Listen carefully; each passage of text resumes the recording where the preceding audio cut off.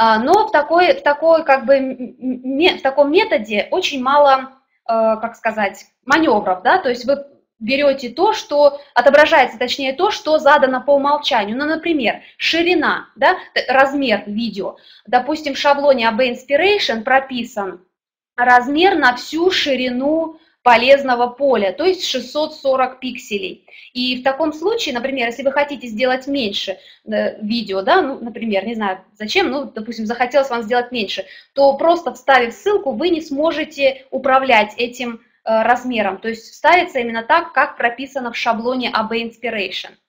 Поэтому, если вам нужно больше маневра, допустим, задать э, ширину и высоту видео, то мы используем второй метод вставки видео, это вставка видео с помощью шот-код Embed. Посмотрите, здесь я сразу же привожу э, как бы ну, пример, как он используется. То есть шот-код – это специальные такие вставки, шот-код, короткий код переводится, да, а, который как бы встроен функционал WordPress, и когда, допустим, а, программа видит вот этот код, она понимает, что нужно вот эти вот значки заменить на код соответствующий, да, то есть мы даем как бы подсказку а, самому WordPress.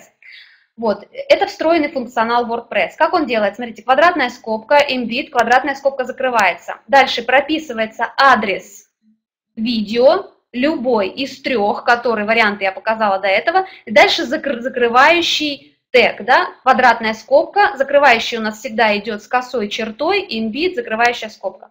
Вот так пишется э, шот-код embed. Итак, смотрим на примере.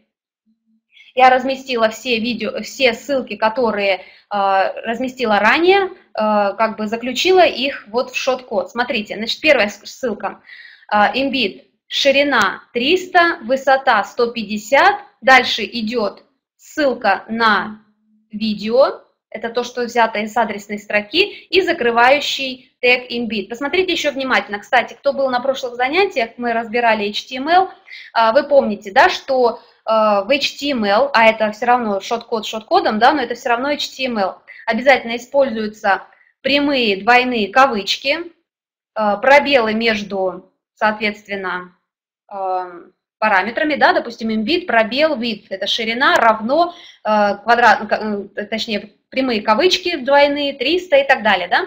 Э, дальше внутри между тегами прописывается адрес и закрывающий тег.